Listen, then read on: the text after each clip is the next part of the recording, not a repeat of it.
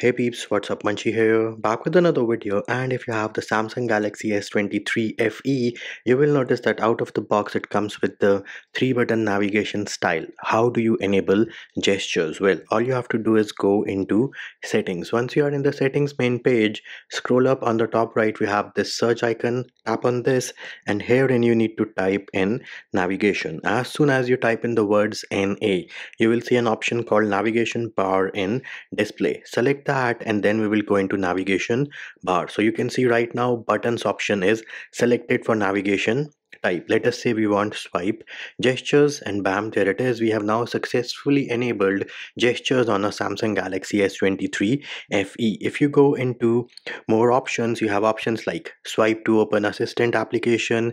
You can configure the gesture sensitivity as well and you can also choose between two different kind of gesture style on your samsung galaxy s23 fe the one which is enabled by default is swipe from sides and bottom. So if i swipe up i will go home and if i swipe from any of the side i will go back and to access my recents swipe up from the bottom and hold. These are my recents what if you want a different style? So we will go back into settings and display and then navigation bar more options and you can always use the swipe from bottom. So herein swipe from each area of the bottom of your phone to go back to go to home screen or view the recent applications. So we have three bars on the bottom. Swipe up from the one in the middle is going to take you to your home screen. If i swipe up from the one on the right that is going to take me back.